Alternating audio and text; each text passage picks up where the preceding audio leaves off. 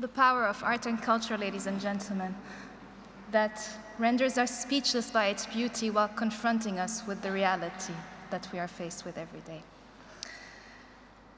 20 years ago, the Prince Claus Fund started as a cultural gift from the Dutch government for Prince Claus.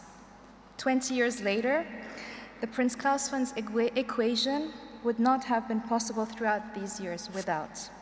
And please, bear with me.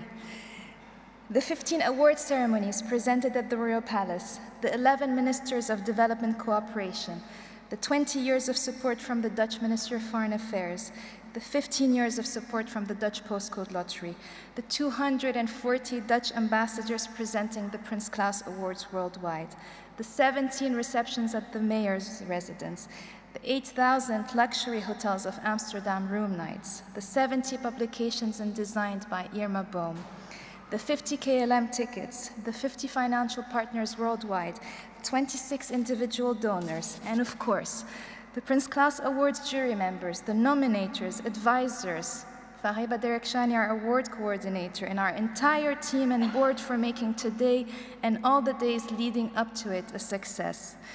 And lastly, I'd like to thank our incredible network, all of you. We are over 20,000 people and counting who all share an undeniable passion for culture. The Prince Claus Fund would not be possible without you all. And for all of that, I would like to give a warm and very, very, very grateful thank you.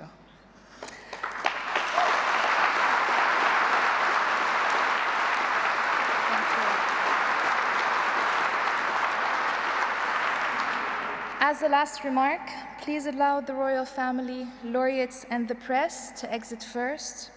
Then please move to the back of the hall so we can remove the chairs. The reception will take place here in a few minutes.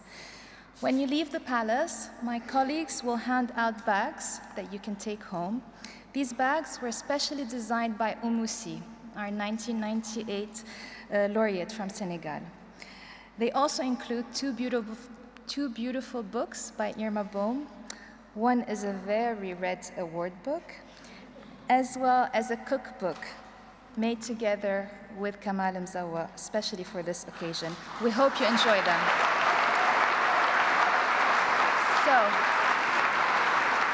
thank you all for being here and for bearing with us, for sharing this afternoon. We hope that Apichatpong and the rest of the 2016 Prince Claus laureates have broadened your world. They sure have broadened mine. Thank you so much.